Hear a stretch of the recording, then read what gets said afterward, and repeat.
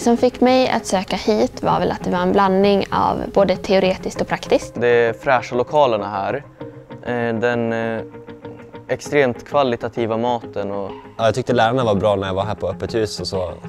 Vi erbjuder ett industritekniskt program som är ett yrkesprogram. eh, Men med möjlighet att läsa utökade kurser så att man får behörighet motsvarande teknikprogrammet. Eh, Det är en liten skola som gör att man kommer varandra väldigt nära. Jag trivs väldigt bra på skolan för att jag tycker det funkar väldigt bra med basgrupperna. Vi är indelade i basgrupper och de blir som en liten familj som man bryr sig väldigt mycket om och man hänger mycket tillsammans. Något extra bra det är våra egna arbetsplatser där vi sitter för det mesta. De flesta lektioner är vid dem.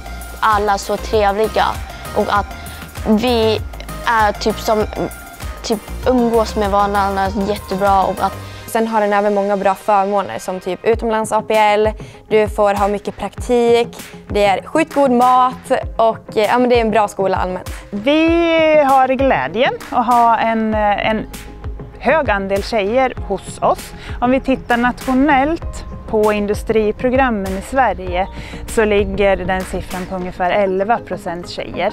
Eh, Vi har på Göranssonska skolan idag 37 procent tjejer. jag har valt att läsa de teoretiska ämnena och, som matte, kemi och fysik för att jag tycker att det är roligast.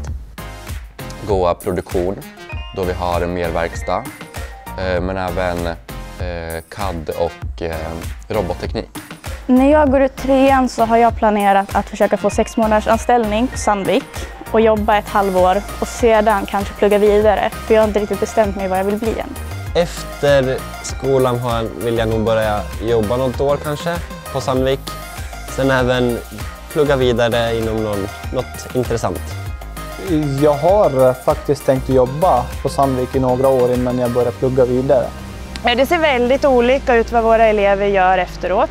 Eh, du, eftersom du har en yrkesexamen så har du en stor möjlighet att gå ut och arbeta direkt efter studenten, eh, vilket också många gör.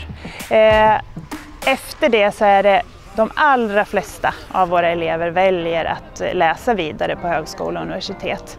Och det kan vara till tekniska studier, vi har många som såklart läser vidare till civilingenjörer eller andra ingenjörsutbildningar.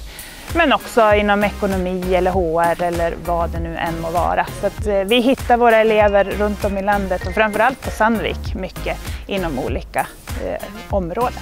Planer efter Göranssonska skolan är inte så klara än. Utan jag får se vad, det, vad som händer och vart jag tar mig.